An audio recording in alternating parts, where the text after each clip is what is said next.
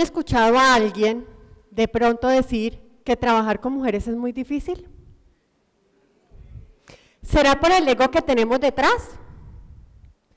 Llevaba ya más de tres años escuchando y viendo cómo muchas mujeres habían formado grupos de apoyo a otras mujeres.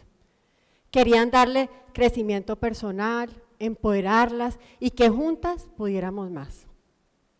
Hoy en día me da tristeza ver que muchos de esos grupos no hubieran podido surgir de la manera que a mí me hubiera gustado.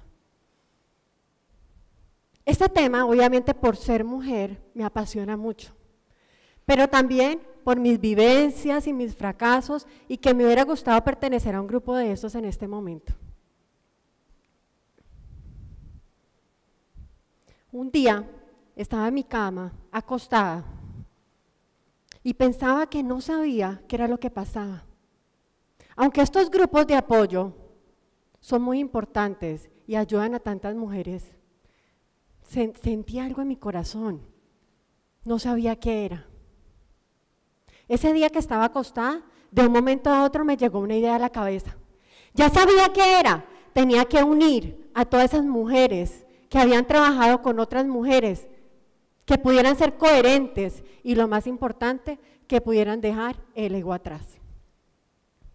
Me acordé que un día quise ayudar a unas mujeres que pertenecían a un grupo y las líderes de ellas fueron y me buscaron y me dijeron que si quería ayudarlas a ellas, primero tenía que ayudar a las líderes.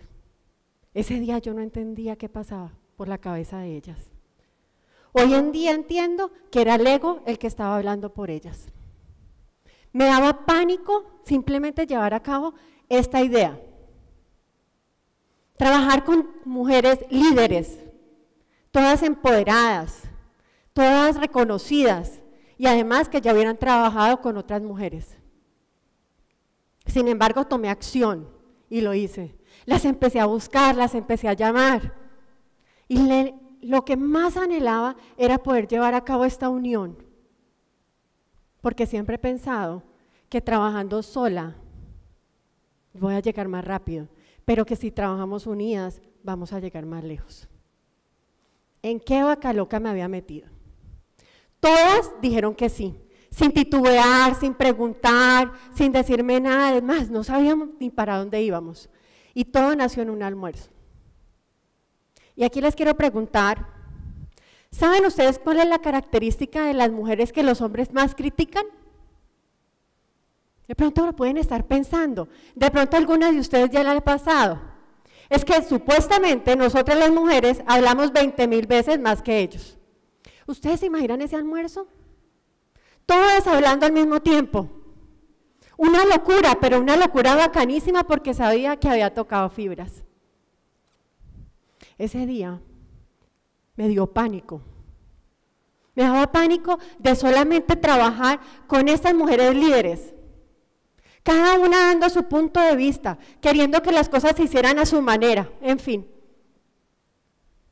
Pero la diferencia con estas mujeres es que se puede llegar a acuerdos porque la meta a la larga es la misma, es ayudar a otras.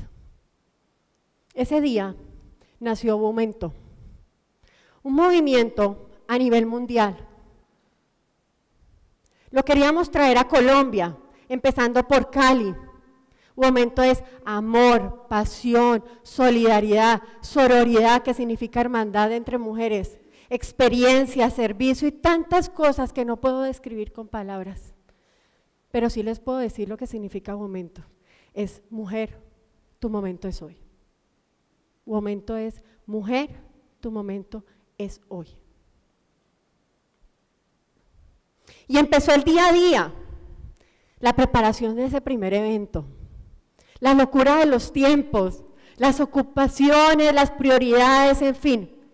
Empezó a verse que la tarea no iba a ser tan fácil, porque hay un personaje en el cuento que quiere gobernar todo el tiempo, que se llama el ego. Pero me empezó a dar más miedo pensar que ese ego podía ser más grande y más fuerte que nosotras no hubiéramos podido llevar un momento a nuestra ciudad. Les voy a dar un ejemplo donde este ego asomó sus narices y nos la cobró bien cara. íbamos a organizar el primer evento. Teníamos que llegar al auditorio donde iba a ser. Teníamos que ensayar cada una de las presentaciones y coordinar todos los tiempos. Todas dijeron, sí, yo voy. Y adivinen qué, ese día muy pocas llegaron. Y si les digo la verdad, solamente una ensayó de verdad. Y obviamente, ¿qué pasó el día del evento? Los tiempos estuvieron descoordinados, nos teníamos que demorar ocho minutos y las que ensayaron así lo hicieron, pero las demás nos demoramos 10, 12 y hasta 15 minutos. Ese celular mío iba a estallar. Que alguien la baje, que alguien la pare, que por qué está hablando de eso, que no sé qué. Y yo simplemente me reía porque era el ego el que nos volvía a hablar. Y todo esto trae consecuencias. Tres personas no pudieron seguir más con nosotros por sus ocupaciones y sus prioridades, a las cuales les doy las gracias por haber estado ahí con nosotros. Y aunque el ego nos había hablado, al final todo salió bien en ese evento. Más de 350 mujeres que estuvieron ahí se llevaron lo más bonito de cada una de nosotros. Se llevaron todo nuestro amor, las ganas de servir de manera incondicional, Hoy en día somos nueve mujeres líderes, imparables, inseparables.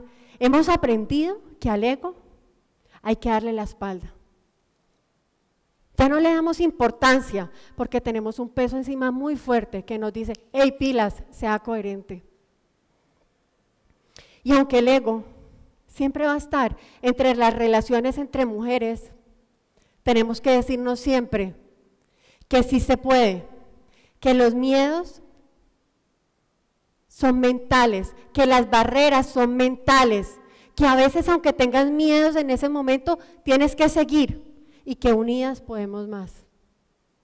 Hoy en día, después de seis meses, o en tan solo seis meses, hemos tocado a más de mil mujeres que nos han dado las gracias por haber cambiado sus vidas, porque han tomado decisiones, porque han emprendido, porque han entendido que sí se puede y porque lo más importante, se han dicho que hoy se quieren más que ayer. Y el ego siempre va a estar ahí. Pero nuestro amor y las ganas de servir de manera incondicional es mucho más fuerte que Él. Y obviamente nosotras nos decimos siempre cuando se asoma por ahí. Y ahora para finalizar, les quiero decir que tal vez, y de pronto tal vez, si no pasara nada entre nosotras, seguramente estaríamos dejando de ser mujeres. Muchas gracias.